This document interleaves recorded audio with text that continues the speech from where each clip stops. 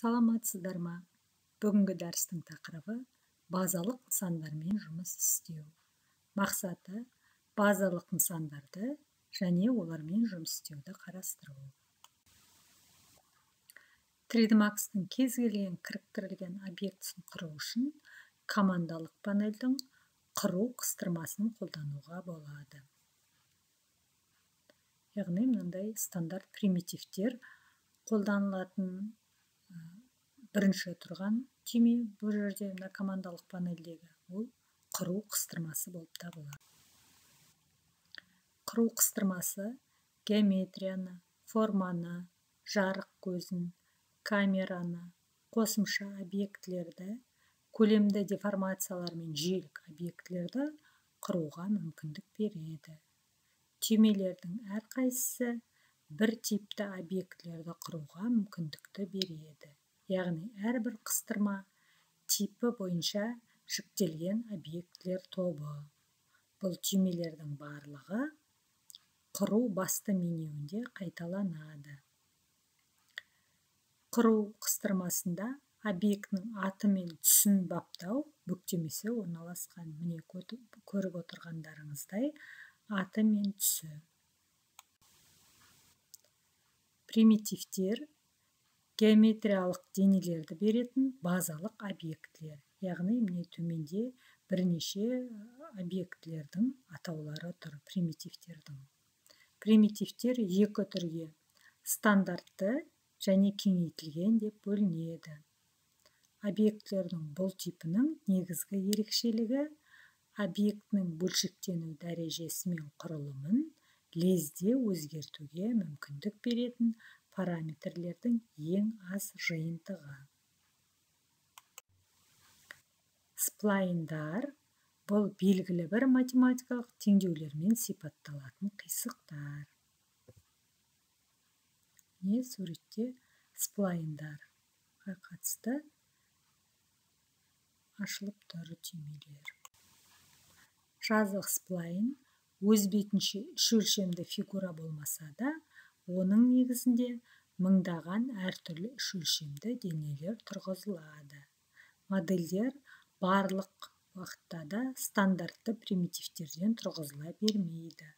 Осындай кездерде сплайндар қолданылады.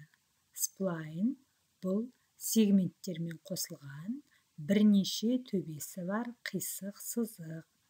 Сплайндық формалар ішкі объектілердің үш түрінен тұрады. Кеңістіктегі төбе нүктелерден төбелер арасындағы сегмент аймақтардан және сплайндардан.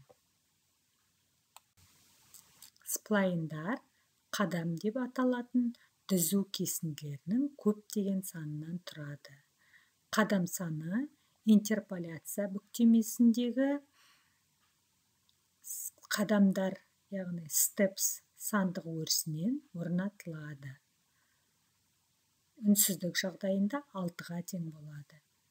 Егер адаптивті жалауын қосса онда сплайн жатық болады. Екі өлшемді сплайндар және нурбис қисықтар макстың қосымша объектілері болып табылатын базалық екі өлшемді формалар. Олар үш өлшемді айналу сығу денелерінің және лофт процедурасымен құрылатын денелердің негізі ретінде қолданылады. Формаларға қосымша қалыңдық берілуі мүмкін. Бұл жағдайда оларды жеке сахнаның көзбен шолынатын объектілер ретінде қолдануға болады. Нурбс беттер үш өлшемді сплайндар сияқты сипатталатын күрделі үш өлшемді объектілер. Оларға формалар мен профильдердің тез өзгерісі болмайтыны сол сияқты геометрияның өте иілгіш құрылымы тән. Сплайндар бұл үзіліссіз сызықты құрайтын сыбайлас сегменттер тобы. Сплайндар ашық және жабық болады. Жабықтарында бірінші және соңғы төбелері беттеседі. Типіне қарай сплайндар мынадай болады. Түзу. Сплайнның барлық сегменттері түзу болып табылады. Қисық. Сплайнның барлық сегменттерінің қандай да бір қисықтығы бар. Үшінші түрі аралас. Бірінші және сол сияқты екінші типті сегменттерді қамтитын сплайн. Яғни түзу және қисық сегменттерді қамтиды. Түзу сызықты сол сияқты қисық сызықты аймақтары бар дегенді білдіреді. Панорамалау проекция терезесін түр жазықтығына параллель жылжыту үшін қолданылады. Кез келген осьті бойлай жылжуды шектеу үшін осьтерді басу және shift түймесін ұстап тұру керек. Панорамалауды жылдамдату үшін ctrl түймесін пайдаланыңыз.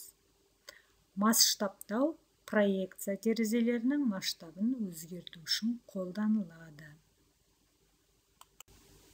Бір проекция терезесін масштабтау үшін оны белсенді етіп қойып және төмендегі әрекеттердің бірін жасау керек. Зум түймесін басыңыз және курсорды жоғары немесе төмен жылжытыңыз. Келесі әрекет alt және z түймелерін басыңыз және курсорды жоғары немесе төмен жылжытыңыз. Үшінші әрекет тінтуір дөңгелегін қажет бағытта айналдырыңыз. Төртінші әрекет үлкейту үшін үлкейту түймесін кішірейту үшін кішірейту түймесін басыңыз. Таңдау және масштабтау түймесі объектіні таңдау және масштабын өзгерту үшін қолданылады. Ағылшын тілінде select and scale деп айтылады. Объектілерді ерекшелеу амалдарын басқару және орындаудың бірнеше тәсілдері бар. Ең дәстүрлі объектінің үстінде тінтуірдің сол жақ түймесін басудан басқа бұл процедураны өңдеу командасының таңдау пункті арқылы жүргізуге болады. Яғни edit командасындағы select пунктін қолданамыз. Төменде осы топтар келтірілген. Барлығын таңдау.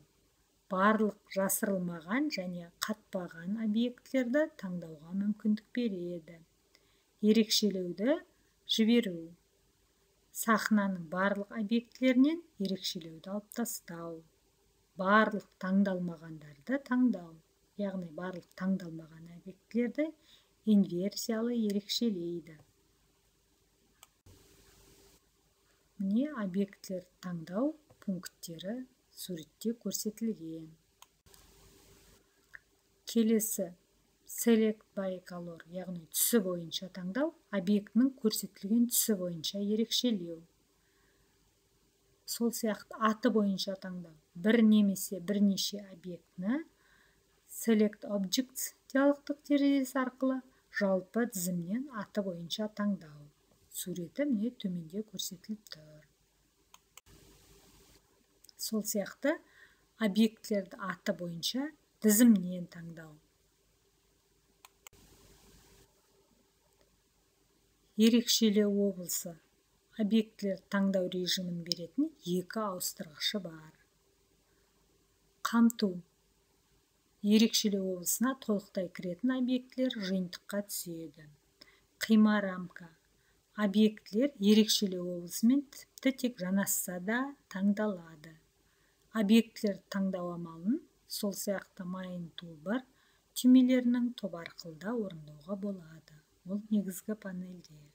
Мына жерде төменде суретте осы негізгі панельдегі объектілер таңдау түймелерінің тобы көрсетілген. Тыңдағандарыңызға рахмет. Сау болыңыздар.